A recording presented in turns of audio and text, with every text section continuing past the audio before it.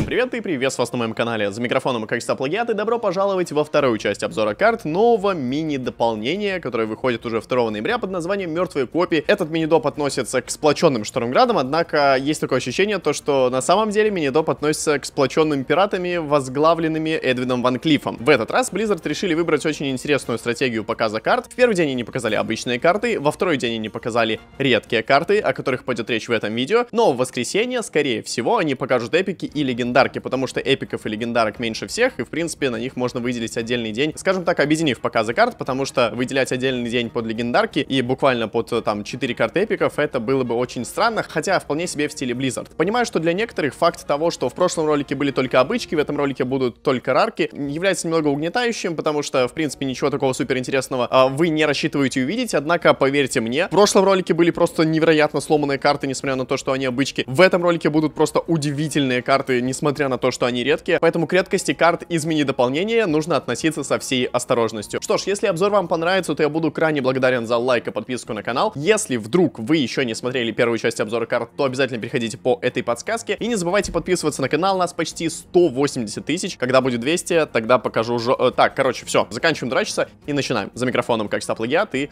Поехали. Что же, первая карта, о которой пойдет речь, это новое редкое заклинание на Демон Хантера, хотя, наверное, мне не стоит сейчас в ролике упоминать редкость, потому что все карты будут редкими. Это арена испытаний за 6 маны, призывает двух существ, внимание, из вашей колоды, они сражаются. Вот эта, конечно, карта обладает крайне интересным эффектом, я ее выделил первой, потому что, ну, обычно смотрят не то, чтобы прям весь ролик в начале, а начало точно смотрят, ну, короче, арена испытаний это прям реально как, какое-то испытание будет для декбилдеров, для людей, которые хотят а, испытать испытать себя и посмотреть, какие лютые комбинации можно будет сделать, сотворить с Демон Хантером при помощи этой картонки. Прямо сейчас в интернетах этих ваших, в твиттерах всяких, на реддитах а, все смеются и а, показывают комбинацию Фойген и Сталак, если вдруг вы помните, если вдруг вы играли во времена Наксрамоса. С Наксрамосом вы, было выпущено две карты, они нейтральные, они легендарные, статы у них 7-4 и 4-7 соответственно, и у них а, есть присмертный хрип. Присмертный хрип после того, как умирает и 4-7, и Сталак, и Фойген, да, 7-4, призывается Тадиус. Тадиус имеет статы 11-11, насколько я помню. Как бы это не очень страшно прямо сейчас, да, вот я сейчас об этом говорю, как о чем-то таком невероятном, но в принципе Тадиус э, и вообще эта комбинация выглядит очень рафляно и наверняка отлично будет синергировать с этой, э, с, с этой, с этим самым заклинанием. Однако э, ограничение того, какие вы будете карты класть в колоду, да, каких существ, какие заклинания, будет ли это работать, их слишком-слишком много, поэтому пока Близы не показали каких-то крутых существ с присмертным хрипом, либо с эффектом, который будет отлично синергировать с этой ареной, она выглядит как просто мем-карта, с которой можно будет записать какой-нибудь геймплей, какой-нибудь ржачный видос с невероятными эффектами, но не более того. Следующая карта это новое заклинание на охотника. За две маны это собачье лакомство. Эту карту можно обменять, и она дает существу плюс 2, плюс 3. После того, как вы обмениваете эту карту, ваше существо получает натиск. Прикольное, ситуативное заклинание, которое будет бафать ваше существо. Бафы это всегда приятно. За две маны плюс 2, плюс 3 это довольно-таки неплохо, хотя, знаете, с учетом пауэркрипа, который сейчас происходит, я бы не удивился, если бы Хант за две маны бафал бы на плюс 4, плюс 4. Ну и, конечно же, вот этот дополнительный эффект э, с активацией эффекта обмена, да, и ваше существо получает натиск. Понятное дело, то, что ваше случайное существо будет получать, да, ты же так ничего не выбираешь. Прикольно, немножко непонятно, каким образом э, вы будете использовать эту карту именно, если вы положите ее в колоду. Думаю, что это станет отличным, э, это собачье лакомство станет отличным разбавлением всех вариантов раскопок, раскопок, которые вы сможете сделать. Но, опять же, я буду всегда стоять на своем прямо сейчас, да, каких-то невероятных карт, которые могли бы, э, скажем так, переманить игроков фейсхантеров э, и современных мидрендж хантов э, от этого архетипа к чему-то новому еще не показали, поэтому можно сказать, что собачье лакомство это как бы хорошая карта, но использоваться она не будет, потому что у хантов и так все хорошо. Следующая карта это направляющий свет луны, это новое, редкое, ладно, сказал редкое, заклинание на друида за две маны, вы раскапываете копию карты из вашей колоды, если вы разыгрываете ее на этом ходу, вы берете саму карту. Вот это очень прикольная тема, я думаю то, что она сможет заиграть вообще в любом архетипе друида. Подобного мы еще вроде как не видели. То есть смотрите, как она работает. Вы раскапываете, допустим, представим искроцвет из вашей колоды, да, вы используете направляющий свет луны, раскапываете искроцвет, используете искроцвет и сразу же достаете из колоды тот самый искроцвет, который вы раскопали. Просто здесь вы раскапываете копию, то есть это, скажем так, за две маны вы дюпаете нужное заклинание и можете его сразу же добрать. Прикольный эффект, э, поможет э, колодам э, через комбо, да, какой-нибудь там ктун, друид на аукционистах, ну, на новом ктуне, само собой, какой-нибудь кто-нибудь, возможно, даже друид с семеркой, друид с анакондрой, наверняка будут это использовать. Отличная раскопка, относится к тайной магии, кстати говоря. Насколько я помню, с тайной магией синергии сейчас не очень много, больше с природой, но в любом случае мне эта картонка нравится и наверняка сможет найти свое применение в друидах, я более чем в этом уверен. Следующая карта, и это новый редкий пират на мага, на мага пират, да-да-да. 4 маны, 3-4, боевой клич, вы берете заклинание, и вы получаете броню в размере его стоимости. Маги конкретно страдают от того, что они могут контролить стол, но они не могут контролить э, лицо оппонента, собственное лицо, да, то есть вы можете законтролить весь стол, но, допустим, если вы играете против какого-нибудь охотника, да, хант, который там постоянно нажимает неприятные кнопки по вам, наносит вам урон при помощи а, люторога, не нанося урон, э, ну, не, не идя именно в лицо, да, он может даже вам ледяной барьер не активировать, ну, я имею в виду не айсблок, а ледяную преграду, естественно, и снести вам лицо, это очень-очень плохо, и сейчас вот магам, я так понимаю, занесли немножечко под сейва. А, понятное дело, что тот факт, что это вот пират глубоководная, это пробудительница, в, в этом нет никакого смысла, хрен с ней, то, что она пират. Возможно, там будет какая-то нейтральная легендарка, которая будет с пиратами синергировать, но это просто потому, что сейчас такая вот тематика дополнения. Главное то, что здесь вы сейчас сможете сделать вокруг вот этой вот, вот этого хорошего боевого клича, напихать в вашего контроль мага тяжелых заклинаний, и потом за счет этого выехать и настакать много брони. Мне нравится, я считаю то, что магу нужно больше защиты, понятное дело, то, что с маги сейчас тот еще кансер, но в любом случае, если вы сейчас захотите на другом архетипе магов поиграть, например, контроль, то у вас будет больше выживаемости и, соответственно, больше пространства для того, чтобы сделать ваши магические, возможно, грязные, возможно, очень даже чистые делишки. Следующая карта, и это новое заклинание на мага за 5 маны, чародейское переполнение, наносит 8 единиц урона существу противника, призывает останки с характеристиками, равными избыточному урону. Прикольный ремувал, который еще и поможет вам не отстать по темпу, если вы будете играть против мидрендж или агрессивных колод, а поверьте, в новой мете вы 100% будете попадаться только на таких, как бы это мое предположение, понятное дело, что я могу, естественно, не угадать, но пока все к этому сводится. Хороший ремувал, хорошее заклинание, прикольная раскопка, относится к тайной магии, то есть э, из э, квестом будет сочетаться. Э, понятное дело то, что из-за того, что это в лицо заклинание не идет, оно немножко хуже, чем могло бы быть, но, знаете ли, на пятом ходу, например, в того же самого люторога вражеского, в какого-нибудь пирата запульнуть эту пятерку и получить там, допустим, если вам нужно было нанести 3 урона, да, то чтобы уничтожить это самое существо, вы наносите 8, остается 5 избыточных, и вы призываете 5-5, такой вот осколок, ну, останок с характеристиками, почему бы и нет, очень даже ничего. 5 маны, убирайте что-то со стола, и плюс еще и спавните 5-5. Почти так же хорошо, как апекситовый удар, Э, апексидовый заряд только в лицо не идет. Следующая карта это редкий пират на Паладоса, 5 маны 2-8, перераспределительница богатств, провокация боевой клич, меняет местами атаку существ с самой высокой и самой низкой атакой. Прикольно, мне кажется то, что если я правильно понял, если я правильно понял эту карту, то при выставлении она будет, возможно, считать и саму себя, то есть она, знаете, как престовский эпик из кобальдов и катакомб 3 маны 2-4, насколько я помню, если у вас в руке есть дракон, то меняется атакой с выбранным существом, да, здесь вы будете ставить ее, давать две атаки вражескому там э, какому-то очень сильному существу, а, сам, э, а сама эта перераспределительница будет э, на себя брать кучу атаки. Но, возможно, она работает именно на других существ, поэтому ручаться не буду. В любом случае, хорошая контроль-карта для Пладоса, правда, сейчас я не вижу, насколько сильно она может быть использована, потому что пока в игре есть манускрипты, ничего никому это не надо. Вместо 5 5 маны 2-8 этого пирата, берете, ставите 5 маны 4-6, которые дешевляют манускрипты, и спокойно чилите, спокойно играете. Перераспределительница это прикольный э, контроль такой вот, э, вспомогательный юнит, да, вспомогательная карта существо, но пока я не вижу, какое широкое применение она может получить именно в современной мете. Следующая карта это пират на друида, 2 маны 2-1, находчивый корабель, я не знаю, как они придумали этого пирата.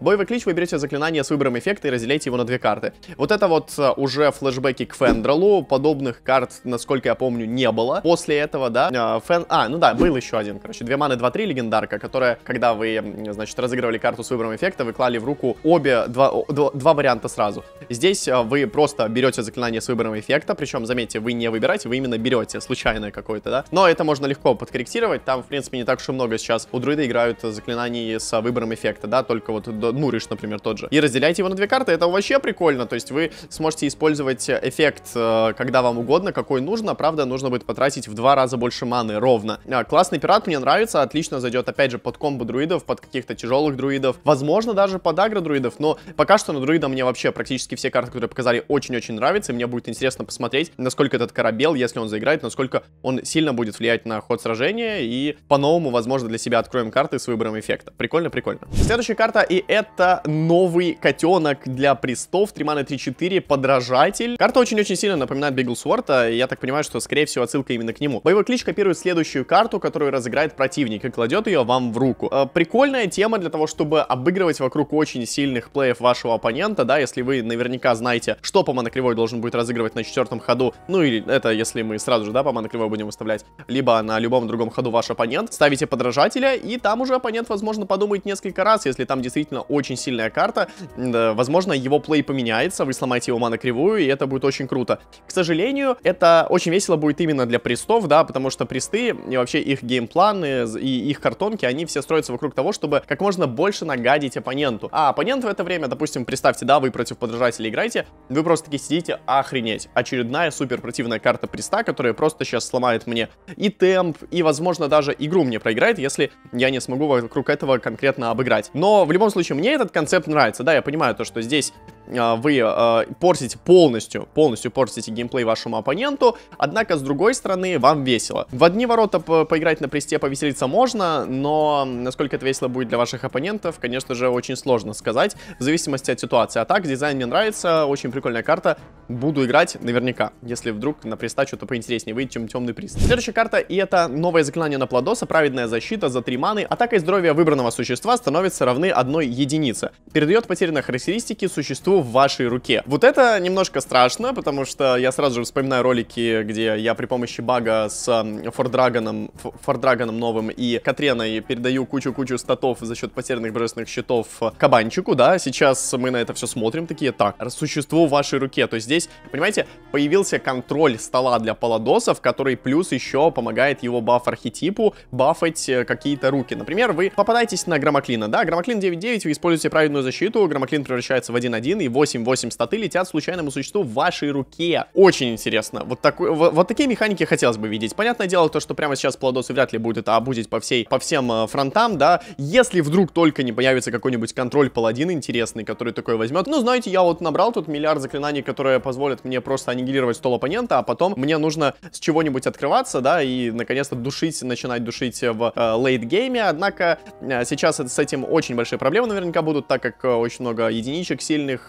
намеки на aggro midrange мету, поэтому забудем сразу про контроль, то, что я здесь влажные мои фантазии все эти забудем. Правильная защита мне нравится как ремоул, именно дизайн карты мне нравится. Я не, я не говорю то, что это будет играть, но дизайн мне нравится, все соблюдено, да, и вот эти вот классические уменьшения статов паладинские, которые были еще с самого классического сета, да, а, и плюс еще buff. Круто? Да, классно. Следующая карта это новое редкое заклинание на рогу за одну ману переговоры. Надо Томатоса было позвать, чтобы он это прочитал. Обменивает эту карту на карту из колоды противника. Случайный эффект. Просто берешь так, выкидываешь эту карту. Я так понимаю, ты ее не используешь, да, ты ее передаешь колоду оппонента, и из его колоды достаешь э, что-то случайное. Очень пороговски, очень классно. Прикольно то, что этим можно будет руинить топ-деки, этим можно будет конкретно руинить вообще геймплан вашего оппонента. Даже condition можно руинить, то есть здесь такая, знаете, пристовская карта, которую случайно покрасили в карту разбойницы и решили просто оставить как есть. Прикольно, прикольно, мне нравится. Понятное дело то, что это будет, скорее всего, использоваться с раскопки, да, либо будет использоваться в каких-то совсем рофло-сборках, э, в вольном формате, да, потому что у нас в стандарте играют только серьезную, ребята. Поэтому переговоры это классная карта, чтобы что-то заруинить, но она крайне ситуационная и 100% будет использоваться исключительно в качестве раскопанной. Следующая карта это грязный крюк. Очень интересный тоже концепт для шамана. 4 маны, 3-6 пират. В конце вашего хода ваше оружие превращается в случайно на одну единицу маны дороже. А близы, я так понимаю, очень хорошенько подумали перед тем, как вообще добавлять эту штуку, потому что сейчас, понятное дело, в игре должно быть оружие за 1, 2, 3, 4, 5, 6, 7, 8, 9, 10. Если за 10 оружия не будет, а я вам напоминаю, за 10 пушки не существует в игре, то ваша э, оружка будет постоянно превращаться в одно и то же с самым большим количеством э, моностоимости. Что ж, этот концепт карты крайне интересен. Я прямо сейчас зашел на сайт Харстона, чтобы посмотреть, э, что же там за картонки в стандартном формате, да, какие у нас есть э, моносто... по моностоимости орудия в игре, и что вы понимали,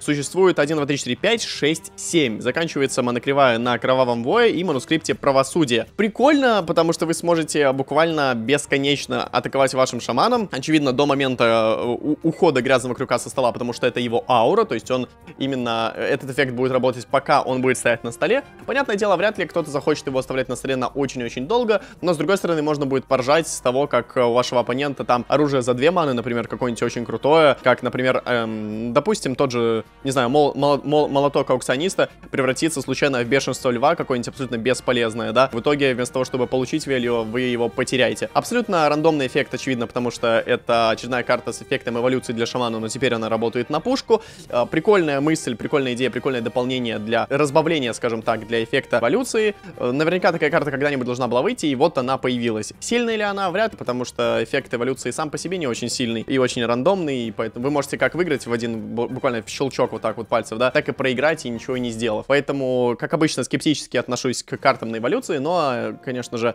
концепт э, и дизайн очень прикольный. Следующая карта, и это новый демон на чернокнижника, сокрушитель кораблей, боевой клич и предсмертный хрип. Вы берете заклинание, ваш герой получает урон, равный его стоимости. Ну, тут, понятное дело, дополнение идет э, для э, свежепонерфленного quest-lock а. Сейчас quest-lock и, ну, я сейчас признаю, да, немного играю в ladder, но, насколько я помню, quest-lock и немножко, скажем так, поубавились, да, хоть hand quest-lock и остались, но в любом случае у них темп очень замедлился после конкретных нерфов, и сокрушитель кораблей будет призван, скажем так, да, исправить это недоразумение и отлично зайти в какого-нибудь наверняка Pain Zoolock а или а, того же Pain Quest Zoolock а или просто Quest Lock а с вот этими сокрушителями кораблей. И там эти сокрушители с учетом э, комбинации с какими-нибудь такими, ну, тяжелыми довольно-таки э, заклинаниями, например, как шестерка, да, которую вы обычно сбрасываете, добирая три карты, вы нанесете за счет него 6 урона, потом еще поставите 4 маны 4-3, то есть это добор двух карт, хороший, ну, плюс-минус темп, не могу сказать, что 4 маны 4-3 это хорошие статы, но это, в принципе, любой темп, и плюс он еще поможет вам прогрессировать э, по мере выполнения квеста. Очень хорошее дополнение для квесты Pain the Lock, как по мне, но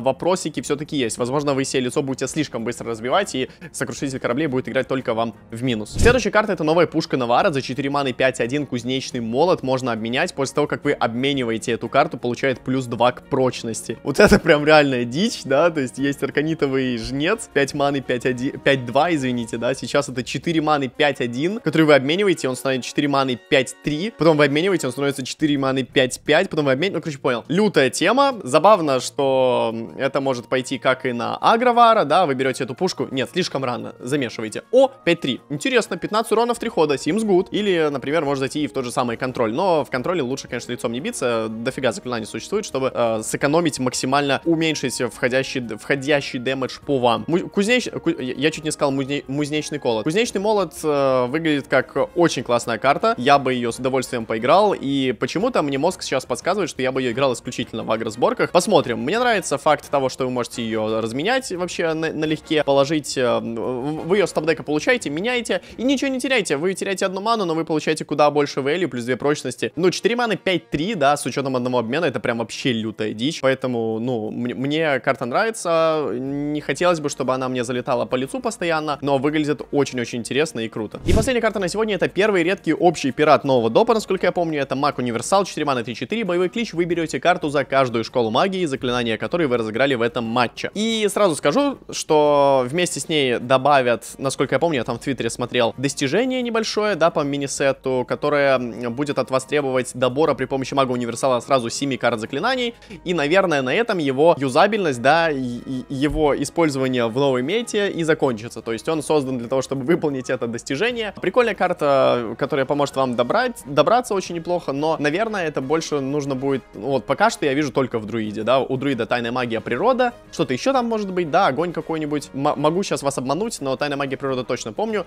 Возможно, в качестве какого-то микродобора, но а в остальном это просто рофла-пиратик такой, микрофиллер, который выпадет вам буквально в первых самых паках, которые вы будете открывать, если вдруг вы не будете покупать мини-сет, а попытайтесь выловить новые карты исключительно из паков. Что ж, ну а на этом вторая часть обзора карт нового мини-сета под названием Мертвые копии подходит к концу. Если обзор вам понравился и оказался полезным, то ставьте лайк и подписывайтесь на канал, и не забывайте посмотреть прошлый обзор, потому что в нем хоть и были обычные карты, они все равно оказались очень интересными и с некоторой стороны даже крайне имбовыми. Огромное вам спасибо за просмотр, делитесь своим мнением по поводу новых карт в комментариях. Если вдруг я где-то ошибся, не стесняйтесь меня исправлять, с удовольствием подниму ваш комментарий, если где-то я оба обдристался, скажем так. Ну а на этом все, огромное вам спасибо за просмотр, и увидимся с вами на следующем стриме, в следующем обзоре и в следующем ролике. До скорого!